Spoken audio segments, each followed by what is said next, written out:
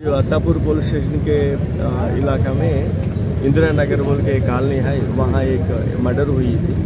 8:40 time पे, शाम में, रात में 8:40 को वो मकबूल बोल के यहाँ उनके साथ, दोस्तों के साथ बैठे मनोज कुमार और अबरार बोल के। तीन लोगों बैठे।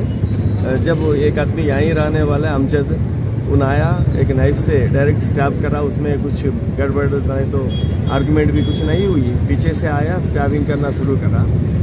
ये ये जो आदमी मार डाला और मर गया, ये दोनों यहीं रहने वाले और मिलके रहने वाले थे यहाँ। आज सुबह में भी वो अक्यूज आके बड़े भाई कैसा है, बोल के पूछ के गया करते ये मार मार डाले सो आदमी, वहाँ यहाँ कांग्रेस ये प्लास्टिक का कंपनी में वो उनको है, जो गोडाउन्स है इन तो खाली कारोबार यहाँ लोकल में कर लेता है।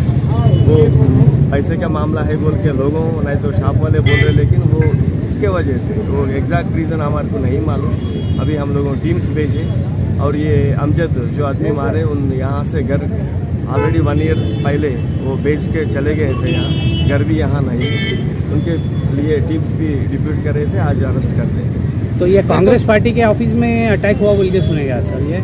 अब देख सकते हैं नहीं पार्टी ऑफ़िस में नहीं वो पार्टी ऑफ़िस के बाजू ये छह साल के रोड पे बैठे हैं लोगों। वो छह पे ही हुई है ना। सर ये अमजद कोई पॉलिटिकल बैकग्राउंड रखता है या फिर ऐसा कुछ पॉलिटिकल इंटीमेटी है दोनों के बीच में पहले से?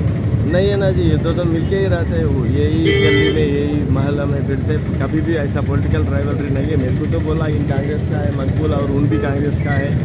आजकल का ये इलेक्शंस के बारे में उधर इधर गए तो भी ये दोनों में बीच में कुछ नहीं सर ये इतना बड़ा चौरस्ता है यहाँ पे डिपार्टमेंट कैमरा नहीं है सर? डिपार्टमेंट? एक भी कैमरा नहीं है डिपार्टमेंट बड़ा ये इतना बड़ा चौरस्ता बोल के आप सोचते हैं कि वहाँ कैमरा है? ये देखो ये कैमरा भी रहता। लेकिन वो कैमरा हर आप इसको हर मोहल्ला हर शॉप्स को नहीं कवर कर सकते ना। आप देख सकते हैं आपके पीछे भी तीन कैमरास है। उसका डायरेक्शन एक इधर तरफ़ है एक उधर तरफ़ है। ऐसा। हर जगह हम कैमरास। अच्छा ठीक है हैदराबाद हमारा शहर तो बहुत अच्छा है वो पूरा कैमरास का नोन है, लेकिन हर जगह में वो कैमरा कैसा लगेगा? Public thank you okay thank you sir